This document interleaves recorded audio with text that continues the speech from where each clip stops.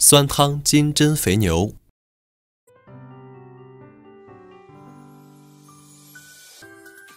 蒜三瓣切末，姜一块切片，小米椒、青尖椒切圈，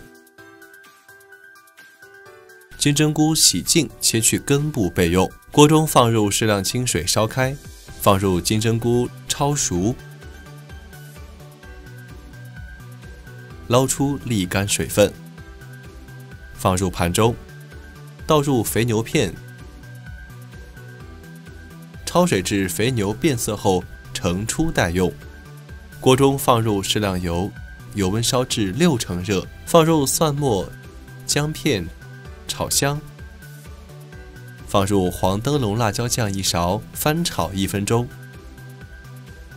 加入高汤适量，煮开。用网筛滤掉锅内料渣。加入盐半勺，白糖一克，拌匀。放入肥牛片，煮熟后淋上白醋一勺，拌匀。将肥牛与汤汁盛出到铺有金针菇的盘中，撒上青红椒圈，最后烧少量热油，淋上即可。